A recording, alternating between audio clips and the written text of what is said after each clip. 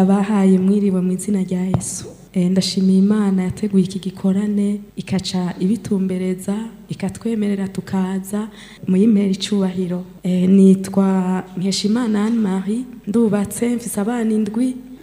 Muciye mutwenga mwibaza yuko ukunsa atari ko ngana. Akazi nkora ndi umugenduzi w'ubutungane. Muri iyi ntahe shaka gushingira intahe imana ukuntu mu mu kazi kacu canke mu buzima bwacu ibana natwe iyo tuyizeye.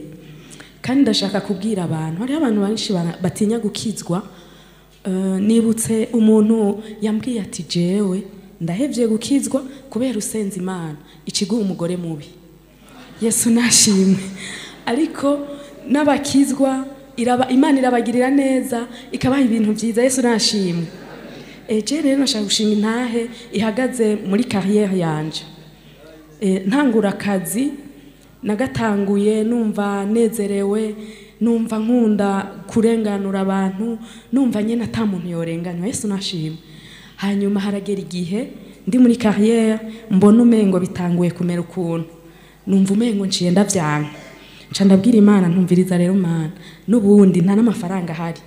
Je rero nshaka kuva muri kariyeri de la magistrature nigira ahandi.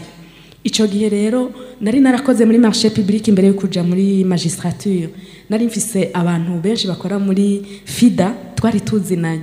Igihe cyose yabaye appel d'offre baca baza kumbwira. Kandi narakora ibibazo s'il vous plaît nkabitora.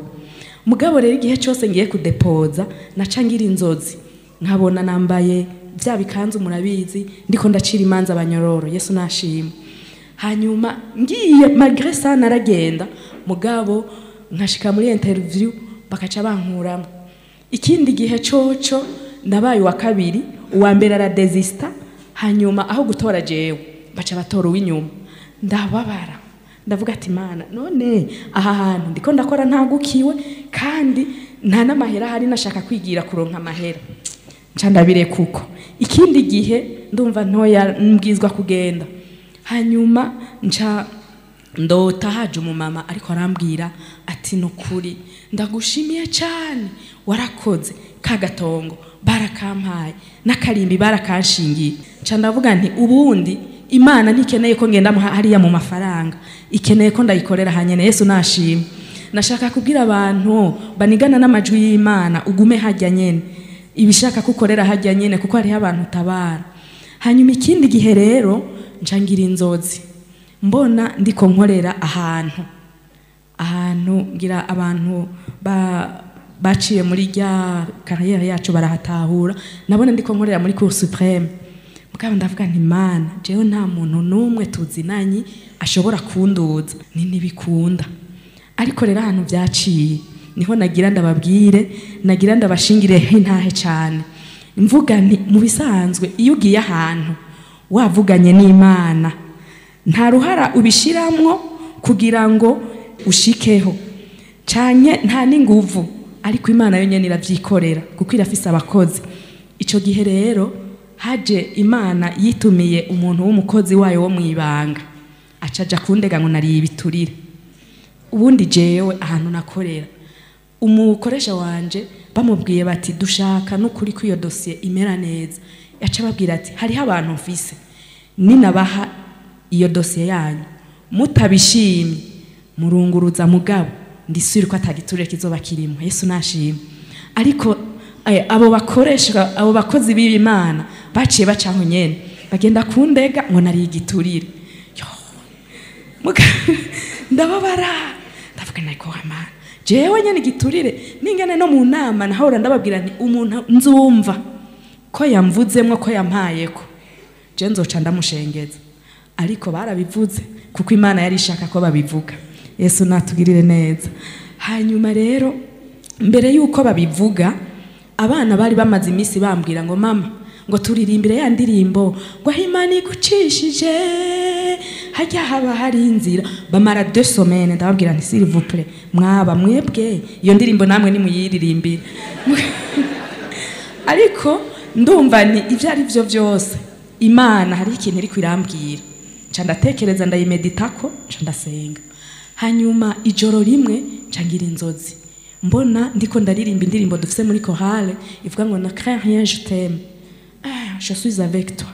Navuga nti aka n'akantu gashusha imana igiringirira hanyuma nca ndabwira umuntu umudamu umwe nti jewe nsengera vrema Ni indirimbo narose ntihumuriza. C'était vendredi la nuit de vendredi. Lendi naciye numva telefone itamenyereye kumpamagara yo mu bakuru.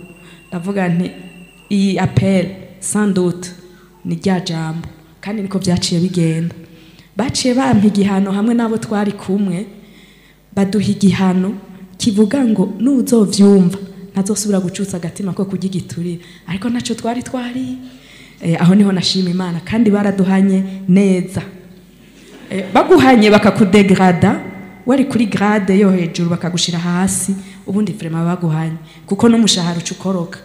Bakaca bagukura naho uri bakagushira ahandi. Ariko ndumva ni magistrature mana urabibona rero ubundi ko wageze ko mvayo donka abantu benshi bambwira bati vayo ubundi ukora y'iki nta n'umushahara uriyo barakurusha. Ariko ngize ngo ngende nkaca numva ngo no je t'aime je suis avec toi. Nkaca nibuka n'aya ndirimbo abana bandirimbiye. Nkavuga nti reka ndindire. Hari igihe imana yokorera hanyene aho rero nca nda ndexecuta la punition. Hanyuma après trois mois ubundi ndababwira ukuri. Je sinasenga naguma mbwira imana je j'execute mugabo nawe rya jambo wavuze kuri kumwe nanje urikorereko. Ndakubwiye ko ndiko ndasenga noba ndaguhenze. Gusa nzoguma ndakwibutsa ko wavuze kuri kumwe nanje. Kandi nivyo nagira. Mbere ngiye no kuryama haragera igihe nkumva ndarushe kuko sinarindi muhira. Nkaca nibuka abana nkaca mvuga mana no musi sinsenga. Muganda kwibukije yuko wavuze yuko uri kumwe nanje. Kandi ndasinziriye. Nari nibungenze mfise mfise imbanyi nini. Umwana munini nkaruha mu rugendo. Ariko imana irampa kuvyakira. Ndibuka yuko hari umuntu yaje arambwira ati jewe bantumye umukozi w'umwizigirwa kandi ukuntu tukuzi ndakuzi neza? yari umuavoka aho hantu bam- bamuntumye zana seve basha umunsi ah, hasigaye amasaha abiri ngo duhure telefone zacu zaciye zikupa twese. Iyi iye wanje irazima arambura. Mu nyuma nanje i- yatse ngiye kumurondera ndamubura. Ndavuga nti imana mbabarira sinzosubira. Ushaka ko nguma ngaha rero ngerageje kunyarutsa. Ngene vyaciye bigenda. Nta ruhara nagize kugira ngo mve aho hantu narindi manuke hasi. Kandi nta n'inguvu nashizemwo kugira ngo mve mu gihano ngaruke. Inyuma y'amezi atatu. Kubera imana itabesha naciye mva mu gihano yesu nashimwe kuko muri histoire ko twari tubimenyereye iwacu nta muntu bahanye omwe amara unane bakaca batangura kwiyumvira bati tugire ibyiwe ariko jewe nabo twari kumwe. Jewe navuze nti aba ba- babonye imana kubera jewe? Ni kuko yari yabimbwiye yesu nabaho umugisha. Inyuma y'amezi atatu mbona mvuye mu gihano eh, numvirije numva abantu bambwira bati wewe kayawe abantu barakuvugira kuko je sinarinzi n'umuryango bacamwo kugira bagende gusaba ivyo bintu. Ntaho narinzi franchement. Kandi naranumva n'isoni ry'ingene nogenda kubwira umuntu yampanye kubera nari igiturire kuko il est convaincu. Nkaca ngenda kumubwira ngo barambeshera biragoye. Ariko imana ikirabikora irankurayo. Hanyuma nca ndavuga nturakoze mana. E, ya promotion wambwira niyi kubera mvuye muri grade bari bankororeyemwo ndaduze ngarutse muri grade narindimwe yesu nashima. Ariko ntiyari iyo. Inyuma y'amezi umunani ntihagire umuntu ambaza iyo byaciye kuko naje sindahazi. Nabonye umuntu ambwira ngo jewe ngo bantumye ngo umwizigirwa ngo uremera gutanga seve yawe. Ni- hehe ngo ntaho nzi. Wewe yambwira ko ari kugenda gutwara isentare. Kanaka. Nca ndavuga ni jewe icyo nzi yitware sinokugabira uje kuyinyaka. Ni mugabe icyo nzi je ntibashobora kunyemera. Kuko jewe jokasi umuntu yari yigiturire cyangwa umuntu ashaka ibintu bitameze gutya ni ntibikunda vrema ni mugabo upfa gutwara hari igihe bakwemerera muri uko gutwara rero ubundi nagira iyo sentare yari paharere niyo nari ndimwo uwo mwanya. Ariko imana kuko yari yavuze muri za nzozi nyereka ko nzoja gukorera ahantu hejuru. Oriyo y'ukumpa ngo nje gutwara iyo sentare baciye banshira aho hejuru yesu nashima. Ahantu rero nashaka gushingira intahe neza ukuri nuko mu bisanzwe ata muntu yogira ubwoba imana imucishije ahantu. Kandi yabikubwiye iragutabara. Kandi nkahamagara abantu hajya nyenuri shingira intahe yesu. Nta ngorane barashobora kuvuga bati turagira iki? Si tufesa nuzajishino komsa mugabo nta ngorane accept kirizajise mugabo intahe imana ishingirwa intahe nanezerewe cyane eh, nta samfise ngira narengeje umwanya. Nanezerewe cyane je sinavuga ariko intahe zaravuga? Abavoka ubundi turabansi babo. Kuko umuavoka yatsinzwe egare ko wamugiriye nabi wamurenganije. Nabo nyene n'abari ngaha barabizi. Umuavoka ntatsindwa yatsinzwe egare ko wamurenganije mugabo ico gihe les avoka baraza bakambwira bati no madame. Byagenze uko ego ndagiye ndakwinginze. Ntubimubwire kuko hamwe yovyumva. Ashoboye kwajisa autrement. Nkagira ingorane zirenze. Ntushobora kumbuza kuko si wabimbwiye. Ndagenda. Kandi nuko byagenze intahe niyo yavuze ni ukuvuga ngo imana mu gakiza kacu irashingirwa intahe iyo dukora nk'uko imana igomba. Yesu nabaho umugisha. Nta jambo nsoma kuko icyo gihe nta jambo nahawe. Nahawe iyo ndirimbo na yo izo ndirimbo zibiri imwe y'abana n'indi yo muri korari wacu. Abumvise iyi ntahe yesu abagirire neza abakomeze kandi nkabahamagarira. Narababaye cyane. Ubundi hariho igihe abantu bibaza ngo uriye igiturire ngo ntibabimenye. Barabimenya.